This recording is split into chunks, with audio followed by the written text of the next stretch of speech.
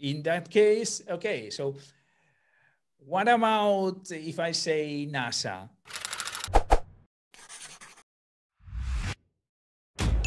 Our guest today is Ricardo Tellez from Barcelona, Spain. He's a ROS expert. He's the CEO and founder of The Construct, an online platform for learning ROS and robotics. He has a PhD in AI and he's the author of four books on ROS. Ricardo, thank you very much for joining us today. My pleasure. Thank you, Sidan. Thank you. My pleasure. Sure. So, can you tell us in simple words what is ROS? Uh, yes, that's a very good question because it's not clear for the newcomers. So they they don't know. So, but what is ROS? Because ROS stands for Robot Operating System, but it is not an operating system. Uh, it's, it's actually is a framework that is put on top of the operating system. In any robot, you have a computer. And then mm-hmm. uh, let's say it's a Linux machine in because it's a big uh, robot. Well, uh, even wheeled robots, they have a computer, even if it's small. Then you install Linux there, and then you install ROS as a set of packages that you are adding to the Linux system. They are just a set of packages. Then by installing this, you can create ROS enabled programs. So ROS is, has revolutionized the, the field of programming robots because by having this framework, you can create programs for robots based on that framework. So actually at the end, you are programming for ROS, not for robots specifically. And what that in, uh, implies is that you can create programs that can be shared between different robots. So before ROS, if you have a robot with two wheels and you wanted to move it around a room, then you had to create a program for this robot. And then you buy another robot, a different robot with uh, four wheels. And then you have to create another di different program for that robot also. So you cannot reuse the one that you created for the one, for the first one. How about how about some of the libraries that are available in ROS? For example, let's say I'm trying to program a robot arm, and mm-hmm. I need uh, uh, like a kinematic robotics kinematics library. Is that also available in ROS? If I if I'm not programming inside ROS, then I have probably to develop everything from scratch, all of those rotation yes. metrics and everything. Exactly. But if I have ROS, it's already there. The library is already there. I can just easily use it, right? Correct. Exactly that. That you you nail it. A very typical application for a robot, for a service robot, for a, an autonomous robot. So it has to be able to navigate. So, for example, go to the kitchen. Then the robot has to know how to drive the path to the kitchen and avoid the obstacles. Right. So this is already done. The algorithms for this, the SLAM algorithms for creating maps, the Kalman filters for doing localization of a robot, the path planning algorithms, all that is being already made in ROS. So you can buy a robot now, even if with little knowledge, you can buy a robot now. Uh, well, and if you know ROS, if you know ROS, in half an hour you have this robot moving around your home. That's the key feature that ROS provides. It has a lot of built-in libraries that you can just pick or use and integrate it into your workflow, into your robotics exactly. workflow. Exactly. My next question is who should learn ROS? Let's say I'm a, I want to become a robotics mechanical engineer where I will mm-hmm. design robots and uh, maybe like uh, come up with the idea, prototype it, uh, 3D model it, prototype it. Should I learn ROS as well, or learning ROS would be more for people who want to become a robot programmer or robotics developer or robotics software engineer? Exactly, it's, it's the second case. So if you are going to be focused on on the mechanical parts or even the electronic part of the robot, then you don't need to learn ROS because ROS is more for building the behaviors of the robots. I see.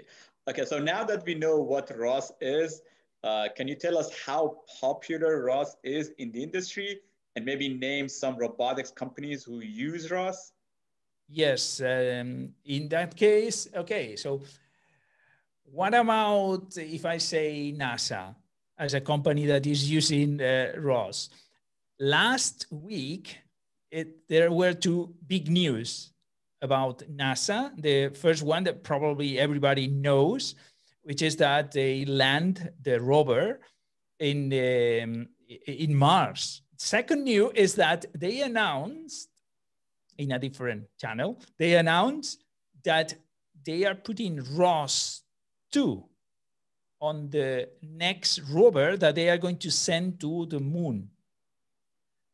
That's a way of saying how mature and how important is becoming ROS in the robotics world. By the way, they have put a, a um, an employment offer on on internet looking for a ROS specialist to work on uh, at NASA for for that project. So if anybody's interested, you can Google it. So that's that's awesome. so important. Is becoming the ROS. I think I think that it's going to become the standard for any robot. Still not. Still is not, but it's becoming. it's becoming, and and and yeah. So I don't see any other possible option that is going to take the, the lead that ROS is taking. Ricardo, you talked about the opportunities, job opportunities for ROS developers. Uh, mm-hmm. Can you elaborate a little more? Tell us about uh, how high is the demand for, for ROS developers and maybe give us some examples of job opportunities in Europe and in the United States and maybe Canada. Okay, so uh, at present, demand for ROS developers is not so high as in other type of robotics engineers. And it is definitely increasing a lot.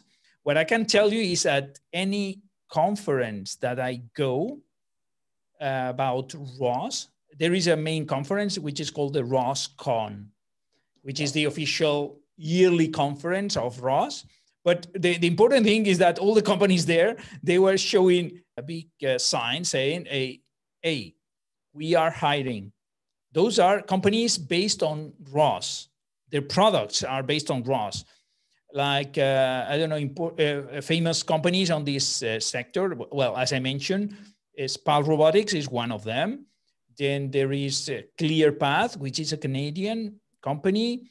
Fetch Robotics, also very famous. What I recommend to the, the audience, to your audience, is that they subscribe to one uh, email list, which is called Robotics Worldwide. They subscribe, you will be starting to receive positions uh, for from around the world. So the people is looking for, uh, I don't know, um, an engineer for this, or even for doing PhDs, doing for doing postdocs. Now, at present, um, there exists another version of ROS, which is called ROS 2. And this is the one that is becoming the, the one uh, more adopted by the companies. Well, is becoming. I mean, it's it has is is starting slow yet. So the the the most used for products at present is ROS one yet is ROS one. But the problem in ROS one is that it was thought for research for universities for testing this concept, but it was not tested for the robustness required in most most of the uh, robotics applications in the real world that are dangerous. For example, uh, in, inside an autonomous car. So there are uh, several uh, several companies doing autonomous cars that they are using ROS 2. And there is one company, it's called Apex AI, which is a United States company that is dedicated to certify this ROS 2 for autonomous cars. So you can put your ROS 2 on the on the autonomous car and be certified and then use all the software that already exists. I, I can tell you that I can feel this this uh, growing interest in more ROS developers and more ROS developers. And the good moment is now because it's like uh, when data science you, you know data science so there were just a few guys doing data science 15 years ago, just a few guys. Now everybody now is yeah. everyone is a data scientist. You, you you you do like that. You look beneath the, the table and there are 10, 10 guys doing data science there. What are you doing there? So th- there's too much competition. Now you can become a ROS expert now, and the competition is not so big. But you had to take this seriously because. Yeah, yeah. it has to be now exactly. Yeah. So if you love to program robots, then you should learn ROS. But only if you love to program robots. If you don't like it, then don't do it. There is a lot of work on developing the hardware of the robots. Programming the robots is the final frontier for intelligent robots. The hardware is already there. It already exists, the hardware that allows a robot to clean a room completely. What it doesn't exist is the software that allows a robot to clean this room, for example. Well, you cannot see because it's the, behind the camera, but here is plenty of stuff. There is the hardware that can move around and grasp the things and so on, but there is not the software that can command a robot right. to clean this mess. It doesn't exist. This is just to, to, to tell to your audience that uh, this is like the final point that we are missing. But in, this is in case that you don't know what to do, hardware, electronics, or software, maybe right. Want to try it on the software. If you are clear, then go for it. Go for it. We, we need the better hardware. We need better electronics also. Right. So you're basically saying if if you haven't decided yet in in terms of whether you want to become a robotics mechanical or electrical engineer versus a robotics software engineer or ROS developer, mm-hmm. then the future, the opportunity would be in the computer science and the algorithm and in the programming side of side of robotics. Mm-hmm. In the right. others, also there are many opportunities because we need uh, things more efficient, faster, and better in reactions times, less consumption, and less heat. Uh, so many, many other problems. Uh, so Ricardo, you're the CEO and the founder of the Construct. Can you tell us a little more about the Construct, what it is, and how my audience can benefit from uh, your training mm-hmm. platform? Uh-huh. Yes. So um, I learned ROS using the official documentation of ROS which is very, very good. Well, it was very good at the time that it was released. But even like that, it was difficult for me to learn. And it has been difficult for all the people that has started to learn ROS because ROS is not simple. Then because of that, then um, I thought about providing a better way of learning, a faster way of learning ROS and it is based on a concept that is called constructivism, sorry, constructionism, uh, which is a concept uh, developed by Seymour Papert. And he developed this concept about indicating that when you are learning uh, the most is when you are practicing, not when you are hearing, but instead when you are building something. This interaction with the system is what makes us learn faster.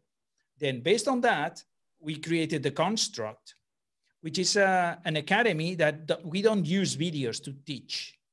We don't use that. What we use is a, a text, is like a textbook, which is on the screen, but you have on the side, you have a simulation of a robot. It's a physical simulation. And it's a simulation that if you push it, then it will fall and it can break and it can crash and all that. So it's a physical simulation of a robot. So the text is teaching you how to program the robot. Then you had to program inside the academy. You had to program and run it.